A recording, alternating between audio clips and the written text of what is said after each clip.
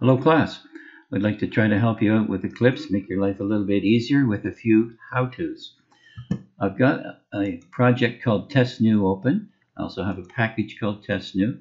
We don't want to put our, our files in this SRC package. Always make your own package. I'm suggesting you use a name the same as your project. I already have a program called Test1 here, but I want to make another program in this package. So I'm going to click on this icon for new Java class. And I'm going to call this one test2, capitalizing that first character in the class name. Very important. Now, normally I would check off this uh, checkbox to get the main method in my file. But let's say I forget. I do from time to time. Perhaps you will too.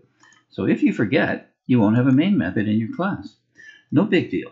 All you have to do is type in main and remember the magic keystrokes control spacebar. And you'll notice that main method is a suggestion. If I just press enter, it'll add my main method for me. Okay, that's called a template. It's a, a uh, editor template. Well, you could make other editor templates, and they are very useful and will help you with your coding. One of the things that you're going to have to do in chapter 2 and onward is to create an instance of the scanner class and hook it up with the keyboard. That's what this code does. This line here creates an object of type scanner called input. It runs the scanner constructor, more about that later, and system.in is the name of the keyboard. So basically what this does is it creates an object called input and connects it with your keyboard so that you can enter values from the keyboard for your variables. Now you'll notice that I'm getting a complaint from Eclipse and when I hover over the uh, red part of the uh, code, you'll see it says scanner can't be resolved to a type. So at this point, Eclipse does not know what scanner is. That's because scanner is not in the java.lang package. The java.lang package is the default package that's always available to you when you're working with Java. Some other classes, like scanner in this case, are not in the java.lang package and you have to import them.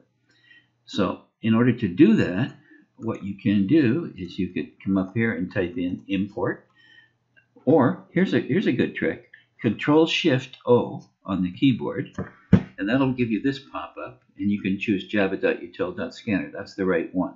Now I'm going to cancel that and, and show you another way. You can hit Source, Organize Imports. That gives you the same pop-up, and this is the one we want: java.util.scanner. As soon as I click on that, you'll notice that the red warnings, error messages go away. We still get a warning here. This is just a warning that we haven't used this value yet. Okay, so um, that's how you can create your, your scanner. This will hook you up to the keyboard. We have to import it from the java.util package. So remember that source source organize imports. That's a good one because it'll also get rid of any imports that you don't need, which is helpful at times. Now, typing this in, gets old pretty quickly. So I'm going to copy that and show you another way that you could do that with another template.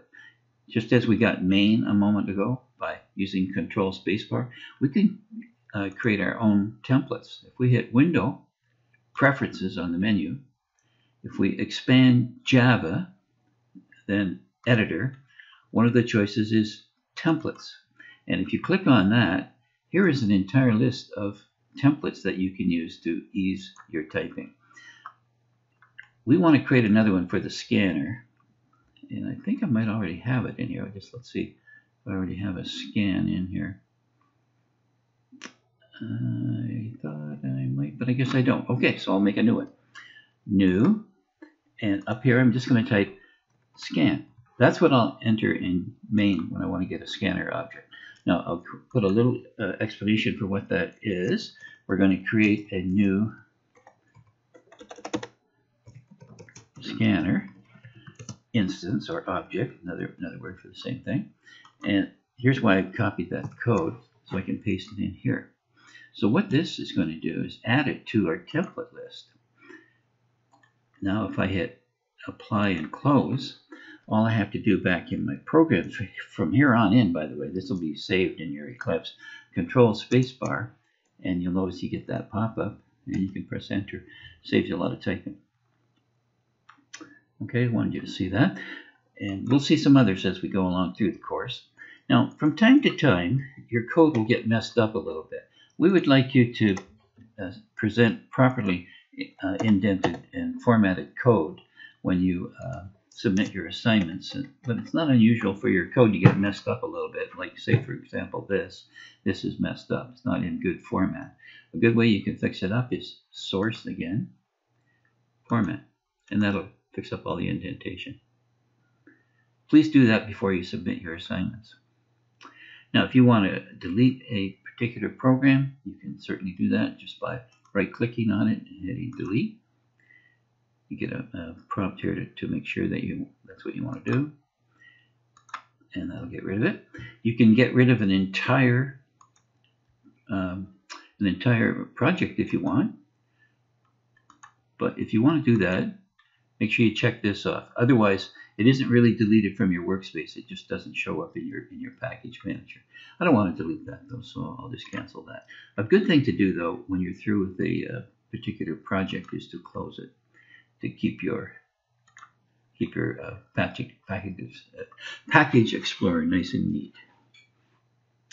Okay, hope that helps. Have fun with Eclipse.